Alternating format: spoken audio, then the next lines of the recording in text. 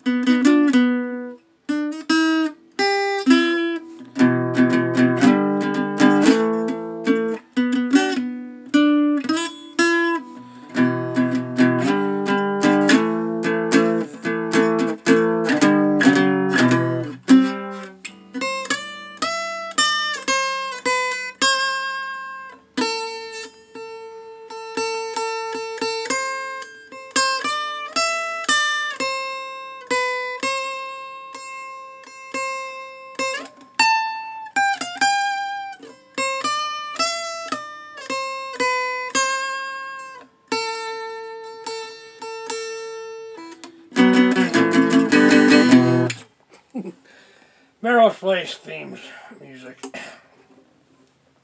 Anywho. Uh, uh, Tim Truman uh, wrote the Melrose uh, Place uh, theme music, but there is a soundtrack. Unfortunately, uh, the theme music is missing from the soundtrack, so.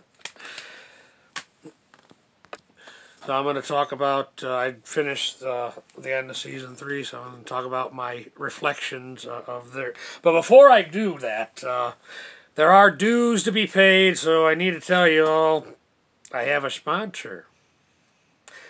This video is brought to you by a little place called Bidets and You. Bidets and You, because sometimes you just got to get clean in a hurry.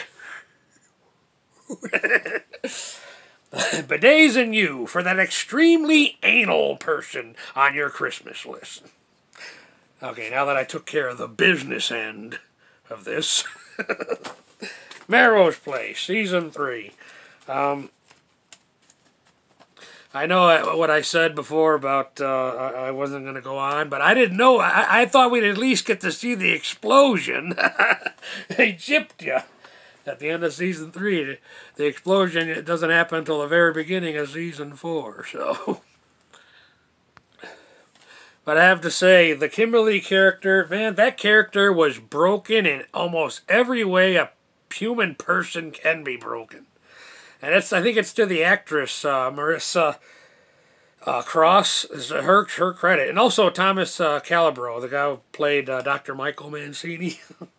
you know, he, that character, he did things in that series so far, season one through three. He did a lot of things that made me want to pat him on the back and shake his hand, and did a lot of things that made me want to punch him in the face. He probably did more things that made me want to punch him in the face, but uh, but uh, where he, uh, especially you know, the where he he basically uh, connivingly destroys the Kimberly character emotionally for his own selfish want. I gotta say, I started getting personal flashbacks of some of the belittling things my own male feminist father said to me as a child. At that point, you want to see the Marcia Cross character take total revenge on the Thomas uh, Calabro character. I mean, it's like, uh, uh, you know, especially on the Michael character. Maybe not take revenge on everybody like she does, but at least on the Michael Mancini character.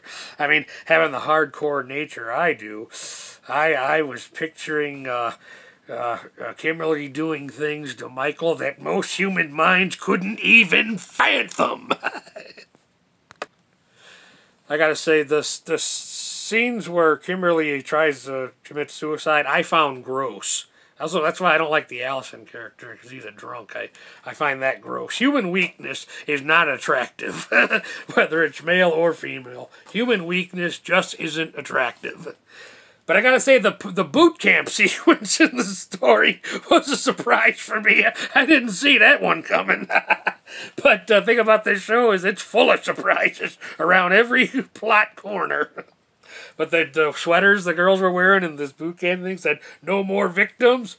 Yeah, cute sweater, but I found it contradictory to what uh, modern feminism has become in 2021.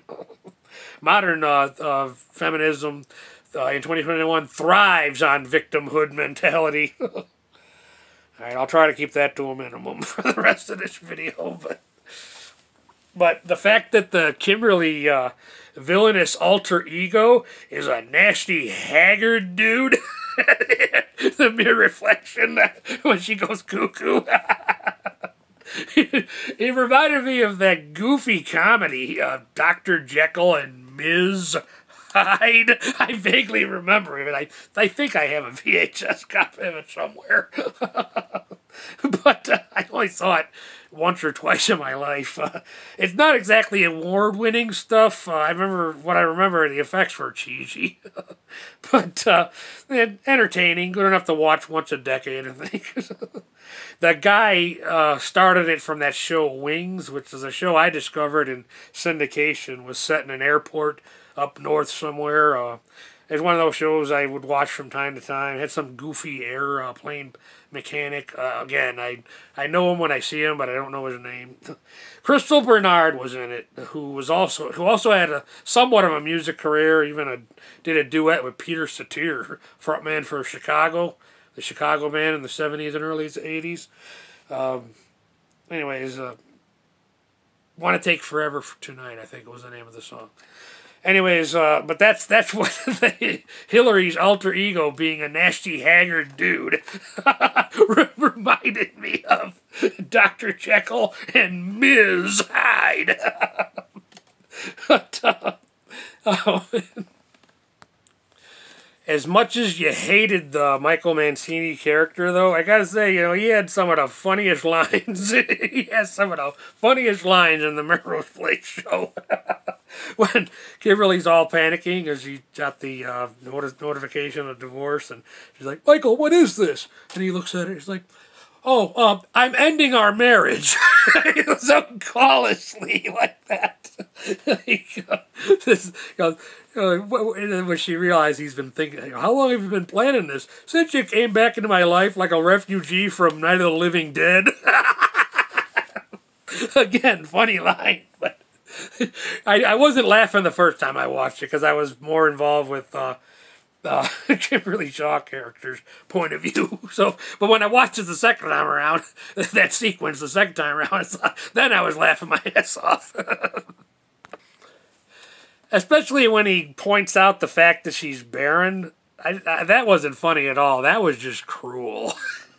I mean, even as being as self-centered as he, as he had been, he had to have some idea how important motherhood was to her. I mean, for crying out loud, she stole Joe's baby. Another line that cracked me up is, this actually was directed at the Sydney character from the Michael character. Sydney, you're like a bad penny. You keep popping up, and I can't get rid of you. None of the characters of this show without flaws, and even the ones who might have started out innocent at the beginning of the series didn't stay that way through the trials and tribulations of life. but uh, I think any human being, man or woman, can only endure a certain number of complex, you know, mental complexes before they start blowing up apartment complexes.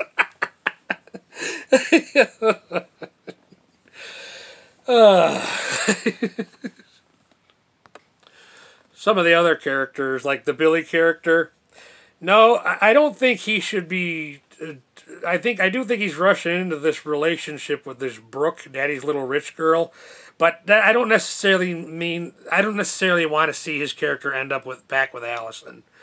I know her character has been through hell with the stuff with the dad, the father back when they, her and her sister were little.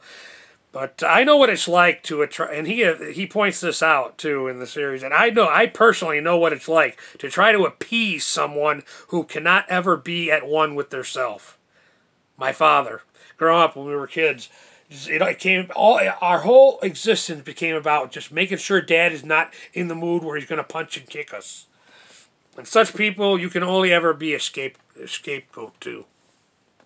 So, actually, if I had my way, if I were master of the, the little universe known as Melrose Place, I would have had the chef to Alice's ex best friend. I wanted to see that relationship flourish between her and Billy. but I guess the writers of the show decided that um, that relationship ran its course and it just wasn't spicy enough anymore for the plot line. and the uh, homosexual character, Matt. What's a gay man framed for murdering his gay lover's wife supposed to do? What's a gay man framed for his murder for, for murdering his gay lover's wife supposed to go? you know, you could say that his incarceration was his saving grace at the time, at the time when, uh, courtesy of one Dr. Kimberly Shaw, the apartment complex was about to go kaboom!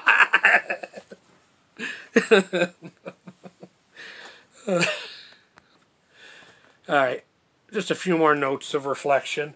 You know, the Melrose Place relationship BS is fun to watch but in real life, most people have families to provide for. They don't have time for such BS. I do I do recall years ago uh, when the show at the peak of the show's popularity, Melrose Place, they did a parody of it on Saturday Night Live, and Adam Sandler played Billy, and he played the character smitten and whipped by Allison. Where is Allison? I must go to Allison. Something like that. Maybe a little bit like in the middle of season two, but I don't think the the guy was whipped. I think you know whenever uh, um, there wasn't he wasn't messing around with Allison. He was pursuing other relationships. So, but anyways, that was I guess uh, the the. Uh, the point of view of most people for comedy purposes back when SNL did that skit, I guess. Where is Allison? I must go to Allison. All right, I'll do it for this one. Mike Parylak, thank you for your time.